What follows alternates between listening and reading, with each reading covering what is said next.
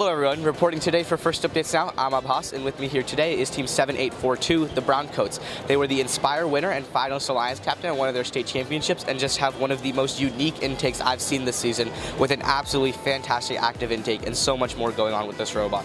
I'm really excited to jump right into this, so coming up on First Updates Now, this is Team 7842, the Browncoats. This video on First Updates Now is made possible by viewers like you and also the following sponsors. Kettering University has over 25 pre-college camps and learning experiences available from computer science and engineering to inspiring future women engineers, leadership development, and first base camps for first graders to graduating high school seniors. Magna and GM sponsored camp fee scholarships are available. Email ctaylor at kettering.edu for more information. Okay guys, let's start with your intake. As we mentioned before, it's an active intake. There's so much going on here, so let's just start with an overview.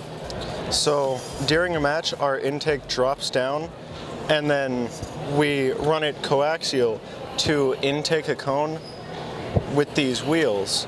It then will fold back and it deposits onto our middleman quickly and reliably. Yeah, and so I want to talk a little bit about the iterations you guys have had with this throughout the season. Was it was this your first design? Have you just stuck with this the whole way through, or were there like major upgrades you made, and like what did you learn along the way?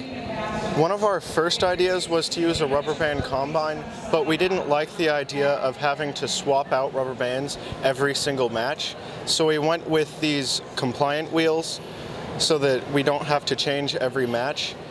And we recently changed the gear ratio running them from 2 to 1 to 1 to one mm-hmm. So now they run at approximately 1100 RPM. Yeah, and so 1100 RPM, that means you're probably running a motor uh, yep. for driving that. Okay, yeah, so that's fantastic. And have you had that motor system for the entire season, or have you played around with servos or any other actuator style?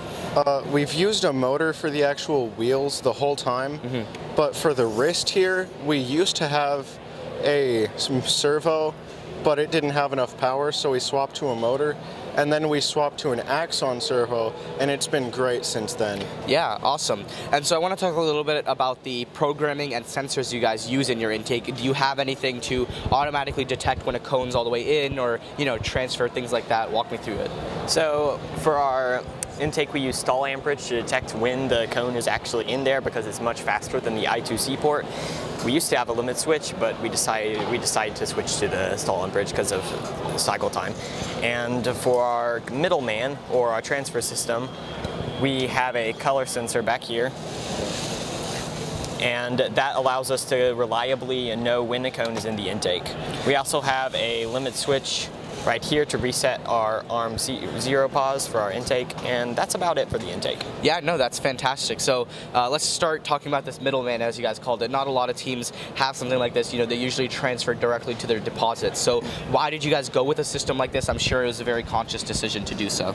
Right. So our middleman is very unique. We've gone through several iterations of it, but um, it's it's made as this like stick kind of design to kind of just funnel the cones onto there reliably. And we've gone through several revisions of it. It used to be like the outside shape of a cone to kind of land, the cone would land inside of it, but it would fall fall out sometimes. It wouldn't mm -hmm. be reliable. So we switched from that and uh, ended up going to this kind of stick design so that you know, it lands on there more reliably. Yeah, so it looks like there's a bunch of little features going on here that we really got to talk about. So I see some springing going on here. Was that something right. that's always been there or a recent addition? How did that come about? So now with this middleman, we do need a spring so that it, you know, comes back to its position to put more cones onto it. But yes, we've had the spring. Now there's a huge spring on here because we needed more um, spring force pulling it forward um, so that cones wouldn't get stuck inside the robot. And so we just recently added this, but we have had the spring on this since we designed it. Yeah, and let's talk about these bearings. So was this something you originally designed it with or was it like you recognized a need for them and then added it? So we did have like a proof of principle kind of thing where it was some of these rounded channels kind of thing, mm -hmm. like this right here. So it used to be two of these side by side, and of course they weren't bent. Um, and we had these bearings on that in that first design. And so yes, we did have bearings in the beginning and we did switch to something without bearings and realized that it did need it halfway through. Sure, yeah, no, that's fantastic. You know, evaluating your designs at every step is really, really important. And you guys have done that super well. And right. so now going on to your deposit, walk me through it. How does it work? Uh, and, you know, let's just get started with the hardware. Right, so once we pass it through to our middleman, we have a herringbone like claw right here. It's driven by another axon. So it'll grab onto this cone and it flips the middleman out of the way and extends. Wow. And so it's just a one motor lift. We don't have two motors, um, but it's very fast because we have counter springing on the outside here. So just like our arm is sprung on this side to counteract gravity, we have these surgical tubing on each stage of the slide so that it can pull it up a lot quicker every time we need it to go up because our motor has been struggling a little bit, but it's worked really well so far. Yeah, and so you know, you guys are definitely a very experienced and veteran team. You've seen a lot of other teams this season run dual slides, right? One stack on either Right. side. Obviously, you guys decided not to. So walk us through that. Why and you know, how did it work out for you?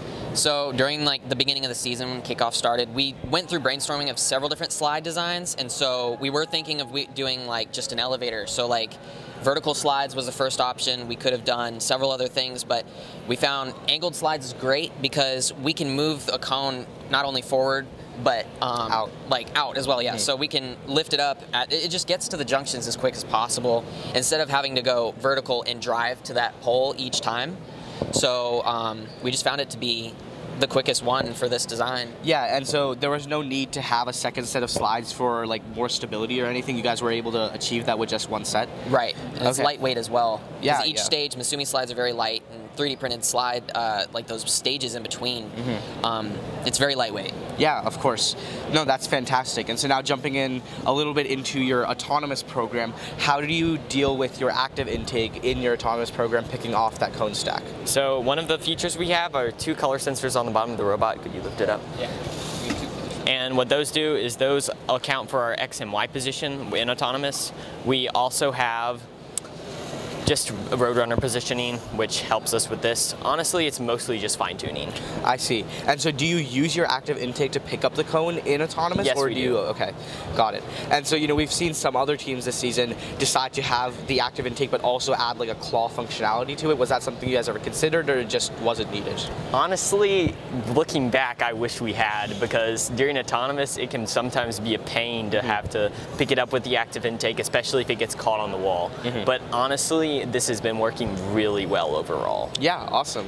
So now uh, another thing I want to talk about is how do you use your active intake to pick up cones that are fallen over? Does this give you any special capabilities or do you have a different mechanism for that? So the cool thing about our intake is that we don't need a separate mechanism to flip cones, but we can use our intake to basically, yeah, if you have a cone flipped around like about this way, mm-hmm. we can have the intake just drop down on top of it, and when it backs up, this cone will be pulled directly into the intake, and so we can pick it up just like that. Yeah, and that's using this uh, bumper you have on the front or is using a different part? Okay. It just kind of pulls up into the wheels, and we have it ready to score. Yeah, awesome. And you, know, you guys are just so fluid throughout the match. So another thing I want to touch on is your game strategy overall. How do you decide where you're going to place, what you're going to do in a match? Um, yeah, and just walk me through that. Well, I've I've spent the whole year analyzing this game. I call this game's first chessboard because it's it's a bit of a headache. But I've I've put together a list of several uh, strategies I've identified throughout Openings. the, the months. Pretty much openings and end games. It kind of varies a little bit. Um, and through that, we've been able to identify what strategies are good against other strategies, weaknesses, and things we can exploit. Normally, this this year's game, you win more by not having an effective strategy, but by countering the enemy's strategy. Yeah, no, I think that's a great point. And I think the last thing I want to touch on with your team is your guys' beacon. From my understanding, it's very, very unique in how it works. So why don't we just walk through it? Well, our beacon, uh, it's designed not only to, well, it's not designed to go over the top of it, but it actually has these doors on the front, which will we push onto the junctions, and then there are hooks so we can pull off of them again. And it just has a simple magnet and with a, a, uh, a hook at the top, so our intake will go down, we'll drive into it, it hooks on, then we push it onto a junction. Can you can you hold that for me? Yeah. It push, we push it onto a junction, and then we can simply just move it. It breaks off, go down. So it'll kind of just lean back, break it off. Yeah, no, that's that's so impressive. And how has that been working out for you guys? Uh, you know, you've had three or four qualification matches under your belt at this point. What do you think? So it's been working fairly reliably. We just have to make sure that it's placed in the right orientation to be able to pick it up every time. But if it's placed correctly, we can usually grab it, put it on the pole very quickly. Yeah, no, that's fantastic. Browncoats, thank you so much. This interview has been great. There's just so much to talk about on this robot mechanically, in software land, and also with the game strategy and Beacon as well. So reporting for First Updates now, I'm Abbas, and this is Team 7842, the Browncoats.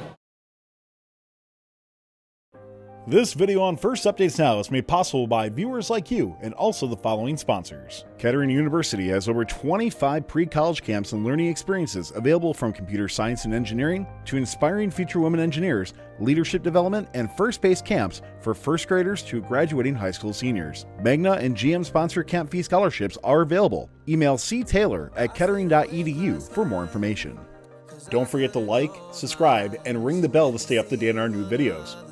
Keep the conversation going and provide your input to our content. Watch our live shows at twitch.tv forward slash first updates now. Join our Discord at discord.gg forward slash first updates now. And check out Fun FTC on Facebook, Instagram, and Twitter. And First Updates Now on Facebook, Instagram, TikTok, and Twitter.